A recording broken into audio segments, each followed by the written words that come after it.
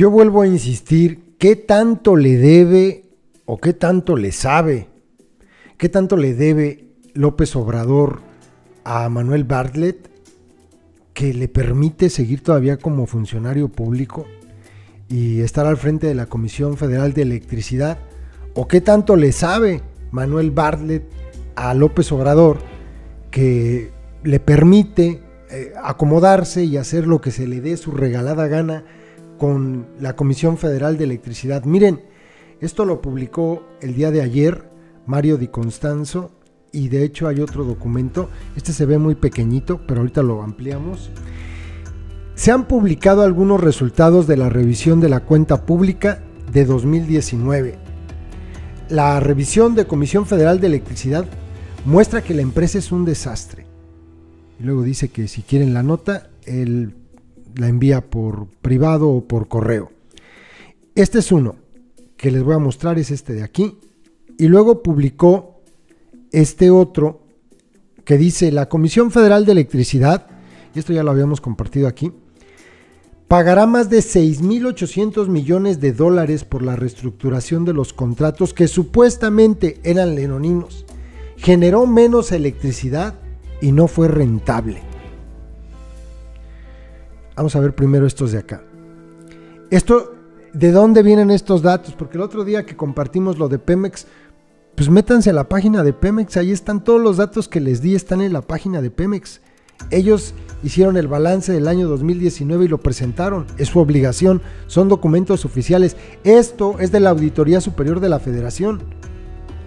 Desempeño de la Comisión Federal de Electricidad, Comisión Federal de Electricidad, objetivo fiscalizar el cumplimiento del objetivo de la Comisión Federal de Electricidad de generar valor económico y rentabilidad para el Estado mexicano. Es, son datos de la Auditoría Superior de la Federación. Por aquí viene, en este, número, en este inciso en la, parte, en la parte de abajo, es que no, pues, déjenme ver si lo puedo hacer más grande. Así. Ah, Pensé que se distorsionaba mucho la letra, está muy pequeñito respecto de la generación de valor económico.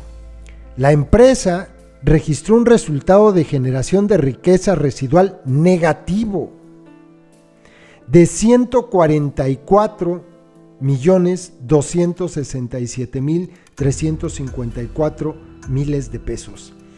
Aunque este fue menor en 8.9% respecto de 2018, con la ampliación de los modelos de predicción de riesgo de quiebra técnica. Y viene ahí dos modelos que se utilizan, Altman Z Score y Springgate, eh, es que no se ve, Springgate, no sé. Se determinó que los resultados financieros de Comisión Federal de Electricidad no son óptimos para considerarse una empresa con solidez financiera en el primero y se obtuvo un resultado de 0.74 puntos, superior al observado en 2018 de 0.72 puntos, o sea, le fue peor que el año pasado. Y en el segundo de estos modelos de predicción, la CFE tuvo un valor de 0.45 puntos, resultado inferior al 0.862 puntos, que es el límite que define a una empresa con finanzas sanas por lo que hay cierto riesgo de que la empresa sea insolvente en el corto plazo. Es muy grave, ¿no? Y luego viene aquí la opinión de la Auditoría Superior de la Federación. En opinión de la Auditoría Superior de la Federación, si bien en 2019 la Comisión Federal de Electricidad encabezada por CFE Corporativo prestó el servicio eléctrico a 44.5 millones de usuarios de los sectores doméstico, comercial, de servicios, agrícola y de mediana y gran industria en beneficio del desarrollo económico y social del país. La conducción central y la dirección estratégica de esta empresa productiva del Estado presentaron limitaciones que incidieron en el deterioro de su situación operativa y financiera, lo que refleja que existen riesgos que la empresa no ha logrado administrar ya que la CFE no actualizó el plan de negocios, herramienta indispensable para asegurar la gobernanza de la empresa y conducir sus operaciones con base en una planeación y visión estratégicas. En las sesiones del Consejo no se procesaron la totalidad de los riesgos a los que se encontró expuesta la empresa. ¿Y quién, a quién hace referencia esta opinión de la Auditoría Superior de la Federación. Si dice que la conducción central y la dirección estratégica de esta empresa, ¿quién es el que lleva a cabo esta conducción y esta dirección estratégica de la empresa? ¿Chespirito? No, Manuel Bartlett. Luego dice acá abajo, la CFE no fue rentable y continuó con un valor económico agregado negativo en su operación no cumplió sus metas de generación de energía y se observó un deterioro en la operación de la empresa pública que provocó que la participación de Comisión Federal de Electricidad en el mercado eléctrico mayorista disminuyera al pasar de 48.6% en 2018 a 47.1% en 2019. Cada vez produce menos energía. Los costos de generación no fueron competitivos respecto de los privados. Las pérdidas en transmisión se incrementaron respecto de 2018, al igual que la cartera vencida. Los costos ineficientes reconocidos en las tarifas ascendieron a 58.422 millones de pesos, el 51.3% de los subsidios otorgados por la Secretaría de Hacienda y Crédito Público a las tarifas de los sectores doméstico y agrícola, 113.843.6 millones de pesos, lo que significa que la mitad de dichos subsidios se destinan, se destinan para cubrir las ineficiencias de la empresa pública. Pues esto es, esto es Pemex, no, este es CFE. Y luego viene este, 8 que, este otro que habla de los hacerlo más grande. Pues de los famosos gasoductos. Uy, no se puede para colmo. A ver, déjenme ver si lo hago de otra manera. Abrir imagen. Abrir imagen.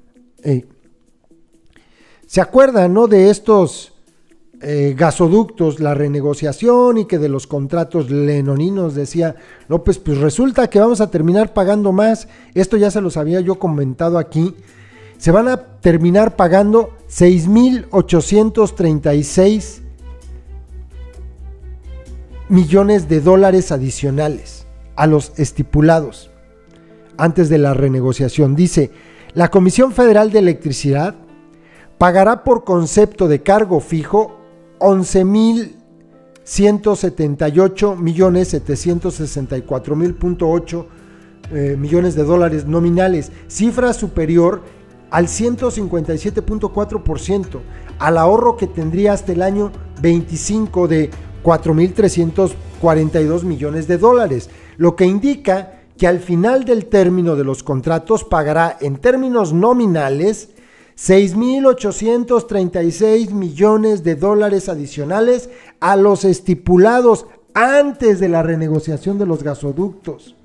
No, hombre, pues no me ayudes, compadre. Esto es como, eh, como los abonos chiquitos de Electra, ¿no? Es así. Terminas pagando un mueble carísimo, claro, a más años, muchos años. Y pues se te hace pequeñito el abono chiquito, ¿no? Pero al final resulta que vamos a terminar pagando casi 7 mil millones de dólares más. Son unos genios para negociar, ¿eh? Unos genios. Salimos re bien. Y pues bueno, aquí habla de que la empresa presentó limitaciones que incidieron en el deterioro de su situación operativa y financiera, lo que refleja que existen riesgos que la empresa no han logrado administrar, ya que la CFE no actualizó el plan de negocios, lo que leíamos hace un rato, herramienta indispensable para asegurar la gobernanza de la empresa y conducir sus operaciones con base en una planeación y visión estratégica en las sesiones del Consejo no se procesaron la totalidad de los riesgos a los que se encontró expuesta la empresa, lo mismo que compartíamos hace un rato, ¿no? La materialización de estos riesgos impidió que en 2019 la CFE cumpliera con su mandato de generar rentabilidad y valor económico en favor del Estado mexicano. Esto, esto es lo que tiene Comisión Federal de Electricidad, así la tiene más bien Manuel Barlet. Vamos a pagar más de 6 mil, casi 7 mil millones de dólares. Y pues, aquí está, ¿no? La CFE es un desastre. Un verdadero desastre. Díganme, pejes, ¿dónde le ven lo bueno a esto? ¿Dónde? Ya, ya se van a llegar. Pues es que así la dejaron los otros. Ya. Pero de un año a otro, tener peores resultados, porque ya tienen ahí dos años, ¿no? Y lo que se está mostrando, por ejemplo, la renegociación de los gasoductos, esa es una negociación fallida del gobierno.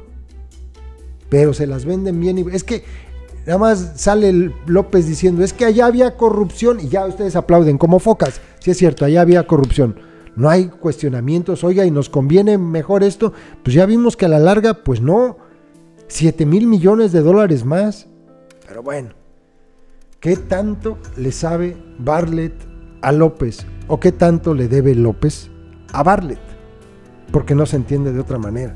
Y después de lo que acaba de pasar en Tabasco, todavía se entiende mucho menos. En fin, saludos compas.